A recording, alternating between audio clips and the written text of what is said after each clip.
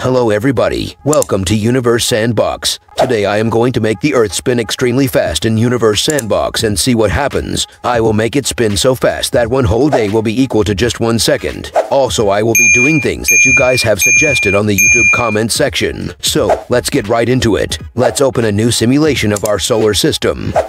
It will be spinning extremely fast, so let's make the simulation speed in milliseconds. Normally, as we all know, Earth completes a rotation in 24 hours or 86,164 seconds. Let's make it just one second. We are all set. Let's hit the play. All of the water has disappeared instantaneously. Look at the fragments coming out of Earth.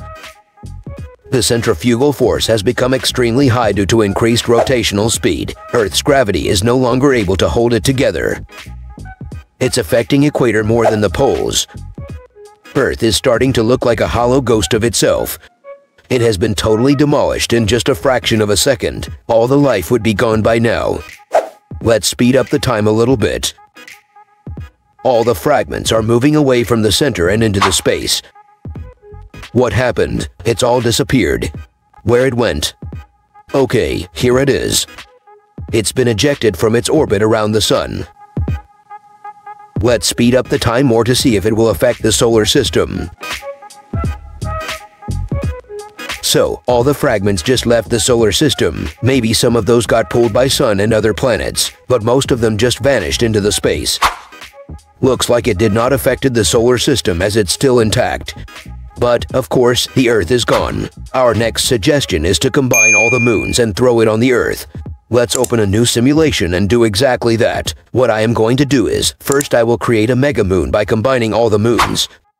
Here are all the moons available in Universe Sandbox 2. We will pause the time and place all the moons very close to each other. When we will hit play, these all will be pulled towards each other and will combine to make a mega moon. Let's place all of them quickly. So, here they are.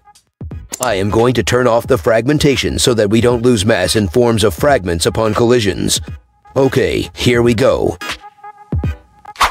There it is, our mega moon. Looks like Ganymede 1. It has a mass of 8.27 moons. Looks like its radius is still increasing. Its surface temperature has reached up to 4727 Celsius. Let's speed up the time and let it reach the maximum radius it can. It has reached up to 4,200 kilometers and stopped increasing. I am going to save it and let's name it all moons. Okay, now it is time to throw it on the Earth. Let's open a new simulation and go to our beautiful Earth. Slowing down the time, go to Add, select Launch, search for all moons that we created, and launch it on the Earth. Okay, here we go. Looks like our mega moon is cooling down along its way towards the Earth. It completely went dark. And boom. It completely demolished the Earth. It's looking like a fireball made up of lava. Speed up the time. Earth's mass only increased by 2%. A lot of mass is wasted in forms of the fragments. The temperature has gone above 4700 Celsius. Let's fast forward. Temperature is dropping really fast. Let's zoom out and take a look at the solar system. What? What happened here? Everything else is gone. All the planets are gone. The only thing remaining is this asteroids belt. I wasn't expecting that to happen. After some time it's starting to lose its fiery glow and is cooling down. Temperature has dropped to 500 degrees. Turning on the flashlight so that we can see it properly. The rotational period has gone up to two and a half days. Let's turn off the atmosphere to see it clearly. It has lost its spherical shape and now it has bulges due to the impact from our mega moon. All the water is gone, it's just iron and silicate at this moment.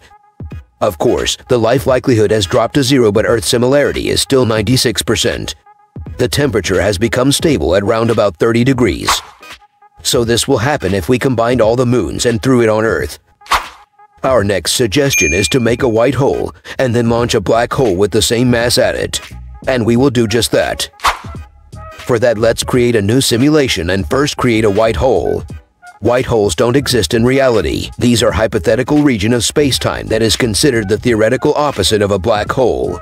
While black holes are known for their incredibly strong gravitational pull from which nothing, including light, can escape, white holes are imagined as sources of matter and energy from which nothing can enter. There are no white holes available in Universe Sandbox, so we will create one of our own by making the mass of a black hole into negative value. Let's also make its color white to make it more realistic. There is our white hole, but first let's test it. We will test it by adding Saturn's rings around it and see if it repels those.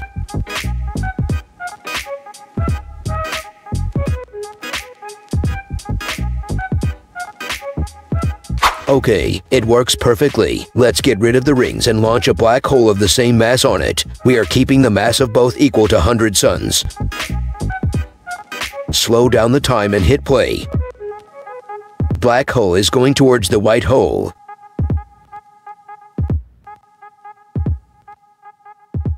What just happened? The white hole ate the black one instantly. Its mass became double but it's still in negative value. That means white hole won and became two times more powerful. So, this would happen according to Universe Sandbox if a white hole and black hole of the same size collided with each other. The white hole would win and take the mass of the black hole. So, the next suggestion is to make the sun 1800 times bigger and throw 2 Wolf 1061 on it. I will try, but I don't think it's possible to make the sun that much big. It will go supernova, but let's do it anyway. What do we have to lose? Let's create a new simulation and add the sun. Increase its mass to 1800 times bigger. See, it went supernova. Time is paused, but as soon as I will hit play, it will start to expand. But let's launch two Wolf 1061s on it while it's paused and see what happens when we play it. Okay, here we go. It's expanding at a very high speed. Look at its color. It's looking gorgeous. The stars we launched at it haven't even collided with it yet. There will be another supernova when they collide with it. A supernova within a supernova. It will be beautiful. Okay, these are about to collide. The sun's core has collapsed and turned into a black hole. Look how it's bending light around the wolves. The game has got very leggy. Okay, the collision has happened. Look at that second supernova.